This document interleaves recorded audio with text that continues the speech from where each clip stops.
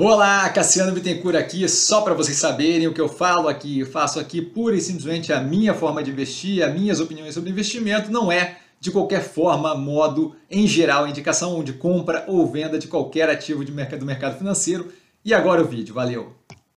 Olá, Cassiano Bittencourt, pelo Visão do Estrategista, neste momento para fazer a análise da Infracommerce, para começar o final de semana, hein? certo? A operação empresa de soluções digitais para e-commerce tá? explicação mais profunda no vídeo do IPO, falando justamente da operação.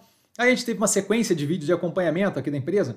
Tá? A gente tem o vídeo do primeiro trimestre com a comparação do cenário naquele momento versus o cenário do IPO. Tá? Aquilo ali começou a trazer um pouco de curiosidade para a operação. Tá? No segundo trimestre de 2023, a gente tem é, um, a gente viu um alívio tá? do cenário binário apresentado anteriormente, que é comentado no primeiro trimestre, tá? onde a empresa se encontrava em uma corrida para gerar caixa em proporção maior do que o aumento da dívida. Então a gente via ali um cenário que, era, que se mostrava ali em grande parte insustentável, certo? Esse trimestre a gente tem a confirmação de alguns pontos bem positivos. O primeiro deles, de que o primeiro trimestre de 2023 foi negativamente um outlier. A gente tinha comentado isso no segundo trimestre, tá? com a melhoria contínua da operação, que podia ser um respiro, mas poderia ser uma continuidade do crescimento, parecia ter uma vertente positiva ali, tá? com forte melhoria na operação como um todo, seja o operacional financeiro, seja o, a estrutura de capital que a gente tem engatilhado aí com o follow-on. Tá? O follow-on divulgado recentemente tira da frente a questão da alavancagem, eu vou comentar mais para frente aqui quando a gente chegar na parte de falar da alavancagem, tá? do, do endividamento versus a capacidade de geração de caixa da, da empresa, tá? o que torna um ativo bem positivo na minha visão. Tá? A estrutura de acionistas na tela, estrutura acionária na tela, tá? só para informação, roda estilo corporation, né? sem um controlador específico, Vale lembrar aqui que a gente tem outro ativo no portfólio, o IGTI 11, o Iguatemi, tá? que tem participação aqui como investimento, tá? e esse direcionamento positivo aqui na Infracommerce deve é, a, trazer ganho ali para o Iguatemi tá? no médio e longo prazo com esse investimento para operação. Então é mais um ponto ali que a gente ganha no portfólio como um todo indiretamente. Tá? A evolução do preço na tela mostra ela no mesmo nível de preço do trimestre, da análise do trimestre passado, que era o mesmo nível da análise do primeiro trimestre. Então, assim, a operação vem com preço basicamente estável toda vez que a gente que a gente está analisando. Tá? Isso daí eu vejo nesse momento como uma baita de uma sorte, tá? dado que a gente tem uma evolução operacional agressiva, o preço já vinha deprimido e agora tem um caminho bem claro para a empresa.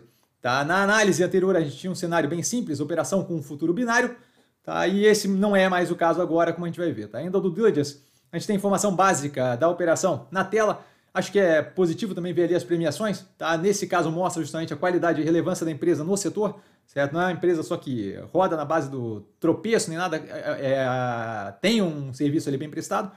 Indo ao operacional financeiro, a gente tem a receita líquida com crescimento de 35% é, ano contra ano. Aí mais informações na tela de GMV e por aí vai, tá? A gente já tinha é, alguma noção ali antes, mas mais informações na tela. O EBITDA com crescimento de 164% ano contra ano, bem forte, está forte, crescimento à margem em 24,4%, confirmando justamente o primeiro trimestre de 2023 como um outlier negativo, como algo fora, um ponto fora da curva negativo, algo, algo especificamente daquele momento. Tá? Um pouco mais de abertura na qualidade operacional versus CAPEX na tela, tá? a gente vê ali o EBITDA versus investimento fortemente evoluindo, tá? claramente a operação como forte evolução, e aí você pode falar, ah, Cassiano, mas é porque eles estão reduzindo o investimento. Tá? Esse CAPEX, esse investimento que eles estão chegando agora de nível mais baixo, é justamente que eles colocam como sustentável. O que a gente teve não é uma algo fora da curva agora, o que a gente teve é justamente anteriormente um capex mais agressivo com compra de outras operações, expansão da empresa que não é mais, não se faz mais necessário nesse momento. Então, a operação está justamente indo no caminho de consolidação daquele crescimento feito, certo? Que eu vejo como bem positivo. Indicadores de proporção da receita líquida com despesa pessoal, capex e ganho ali, né? Receita por funcionário, bem interessante. A gente vê forte melhoria em todos os índices. Tá? Então a operação aí tendo o que parece ser ganho de escala se refletindo na qualidade operacional. Tá? Isso daí garante muito, dá um bom indicativo de continuidade, sustentabilidade da operação com qualidade operacional e evolução. Quando eu penso médio e longo prazo, que para a gente, como investidor, bem relevante, tá? a gente tem um prejuízo líquido de 22,6 milhões quando eu retiro os não recorrentes, tá? versus 26 milhões do trimestre anterior. É, Pode-se considerar, inclusive, os 52,4 milhões ali, não é o caso, tá? esse não é o ponto focal, uma vez que a evolução operacional da empresa e a melhoria da estrutura de capital resolvem esse bolo aqui como um todo. Tá? Não é algo que eu vejo como problemático, é questão de olhar a médio e longo prazo que a gente vê isso aqui virando para o positivo fortemente. Outro indicativo disso é justamente quando a gente olha o resultado pré-juros e a gente vê ali que ela já dá um pequeno lucrinho ali, tá? Nesse momento, se eu tirar os juros e tirar os não recorrentes. Sim, tá tirando coisa demais, eu entendo, mas esse não é o ponto, é só para dar uma noção de para onde a gente vai com a resolução das questões que a empresa tinha que tornava o futuro dela meio binário. Tá? A alavancagem, que era uma das principais questões, deixa de ser completamente, especialmente pelo follow-on, tá? mas a operação já vinha fazendo um trabalho forte, positivo de, de redução. Tá? A melhoria contínua, de estabilidade na dívida bruta com as questões ali de né?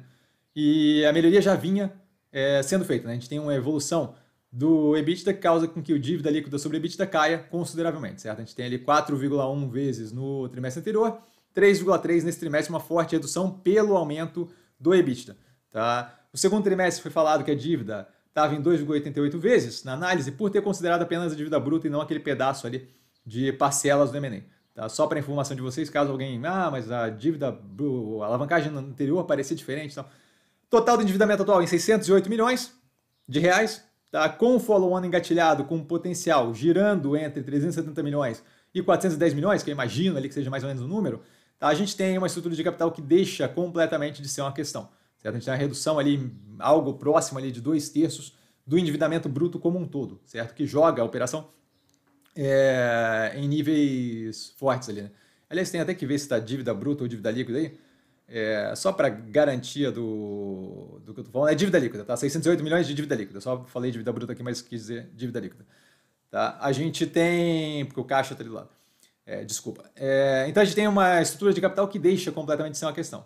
Tá? A operação fica não só tranquila em solvência, como lucrativa overnight, né? do dia para a noite, dado justamente aquela questão ali da gente ter visto ela já lucrando, tirando é, juros ali, questões não recorrentes, certo? O que definitivamente não é o ponto, mas é algo, é mais uma coisa positiva aí a ver com relação à operação. Tá? Finalizando, acompanhando as análises, fica visível que, e vale a pena dar uma olhada nas análises anteriores para entender a evolução até aqui, para ver o quão sério a, a análise é, é, é, com relação à operação.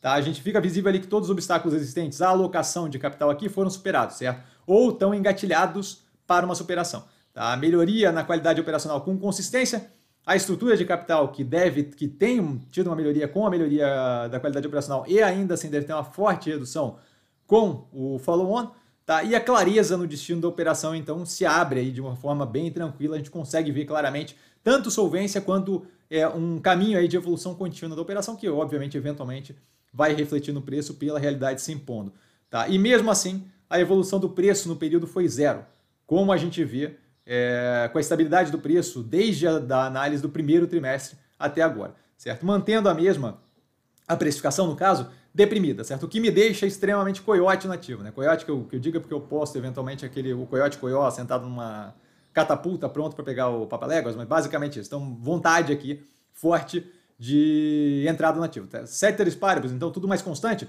a gente vai ter abertura de posição, Dado que a gente tem um follow-on engatilhado e a operação, é, a gente tem agora o mercado fechado, mas a operação a abertura de posição ali no segundo, na segunda-feira, e a gente não vai ter é, propriamente, como, como é que eu vou falar, é, a, a, coisa está sendo feita muito uma em cima da outra, tá? o formato de abertura de posição aqui vai ser meio híbrido, levando em consideração que a gente tem um follow-on com um bônus de subscrição, tá? Uma, um bônus de subscrição para cada três ações, é, no mesmo molde de sempre, né, o, o strike ali do bônus de subscrição, no mesmo nível definido pelo book building do follow-on, tá? E eu não pretendo esperar até que o follow-on saia para abrir posição. Então a gente vai ter algum formato híbrido misturando ali muito provavelmente entrada mercado e subscrição, tá? Cada movimento vai ser como sempre divulgado no canal assim que executado. Nesse momento, agora que a gente tem feito mais uso de short, real e por aí vai, vai ser feito com short, real Está explicando efetivamente o que eu estou fazendo, preço que eu estou pagando, como é que eu estou fazendo, percentual do portfólio que está sendo locado,